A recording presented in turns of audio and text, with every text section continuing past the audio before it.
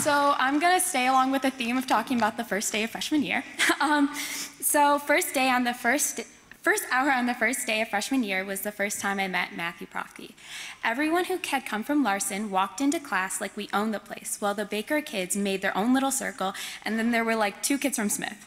Well, one of them just so happened to be Matthew, and he sat first chair viola, even though we weren't even playing that day. It did not take long for the whole orchestra to realize how incredibly talented he is at viola, his love for playing it, and that first chair was exactly where he belonged. Over the past four years, I have had the pleasure to get to know him as more than just a mysterious viola prodigy from Smith, and without a doubt, I can say he's the hardest worker that I know. From academics to tennis to viola, he is passionate at everything he does, and he honestly does not settle to be second best at anything. I have no idea how he is able to juggle it all, but somehow he does, and he does it very, very well. That being said, I am confident in saying that he is also the best at being sarcastic, but that sarcasm only adds to his amazing personality, which ultimately makes him one of the best friends a person can ask for.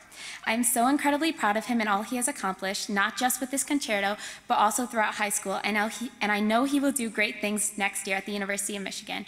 Now, it is my pleasure to introduce Matthew Proefke playing Movement 1 of Stamitz's Viola Concerto in D major.